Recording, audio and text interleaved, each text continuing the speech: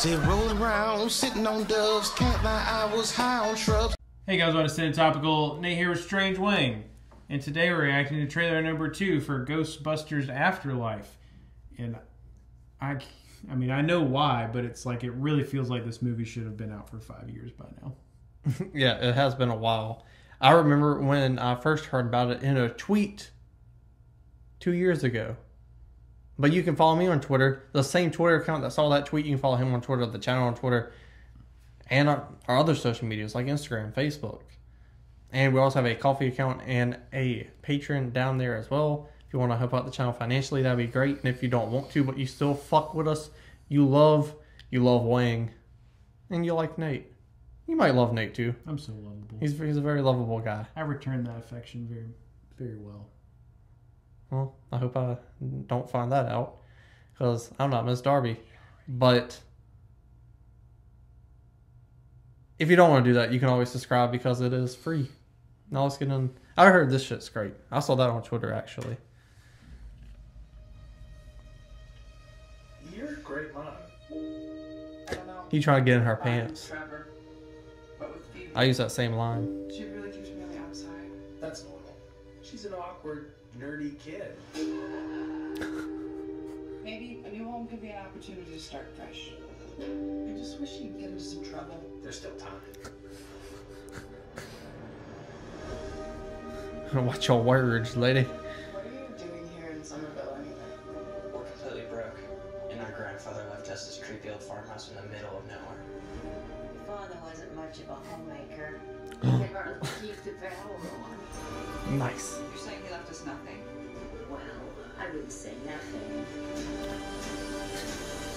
He left you a bunch of shit you don't want. You went to the station wagon? It's the only one that had an engine. Back to one, baby.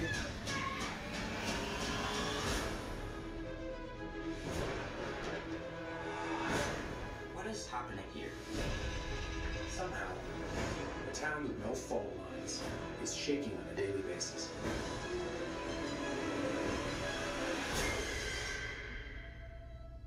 Maybe it's the apocalypse.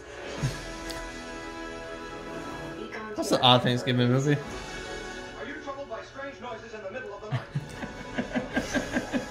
You experience feelings of dread in your basement or attic? Have you or any of your family ever Oh, seen shit. a spook, specter, or ghost?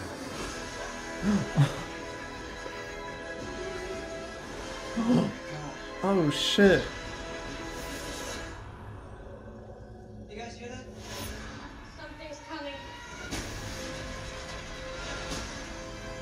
City like The Walking Dead.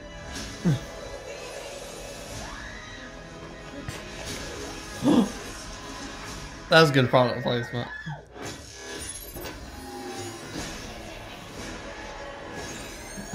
a little baby slimer.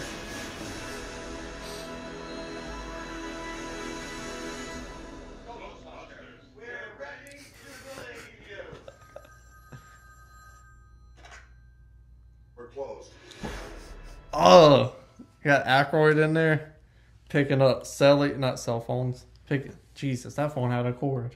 It did. Holy same haircut. Yeah, landline. Crazy! That it hit, it hit right there for me. I love this movie growing up because it's creepy but not scary, Mm-hmm. and it has my type of humor in it.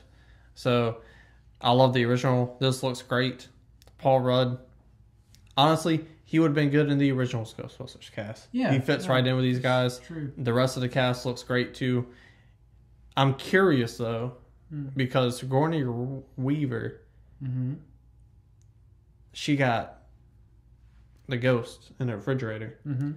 but I haven't seen the movie fucking forever. I forget the name.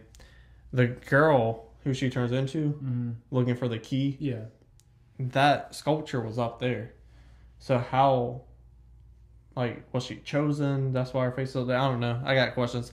I probably just need to watch the original Ghostbusters again, which I don't mind doing that because that movie's great. But that's what I'm gonna do. Yeah, I uh, there's so many like just themes that I love in this because obviously we got some coming of age stuff, and I really like those coming of age movies that are like, uh, like the kids just don't have a lot going for them, and then like this cool like thing happens to them, uh because that's just like nice to think about, right? That like even like when nothing is going for you, you never know when things are going to turn around, right? So that's like a cool theme. Like you, Uh, was going well for you, and then you met me. Yeah, it's just like what the shit, man. Life been so exciting I'm still since. waiting on my Ghostbusters Afterlife moment to save me from this. Uh, but like, obviously, there's like a lot of nostalgia in here. I feel like they're.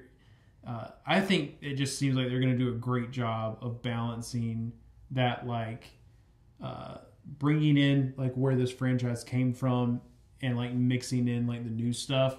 Not every franchise that tries to reboot itself in like today's day and age does that well. That's a fact. Or like other Ghostbusters movies that happened to come out in 2016. Correct.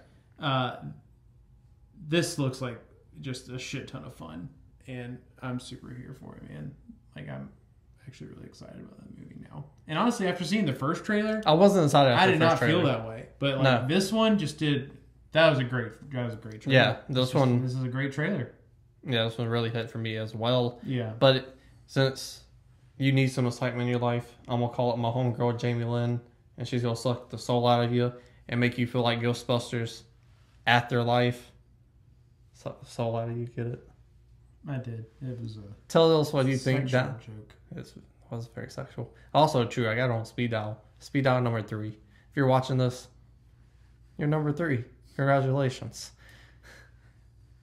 Comment. It's better than nine. Yeah, I mean, comment section down below. Tell us what you thought about this. If you want Jamie Lynn's number, donate some money to the Ko-fi account. Scroll back up, hit the like button. I think that's illegal, but I'm not a hundred percent sure. We'll take your money either way. Yeah. Who knows? Like, comment, share, and subscribe. It's not a game, it's a rich thing.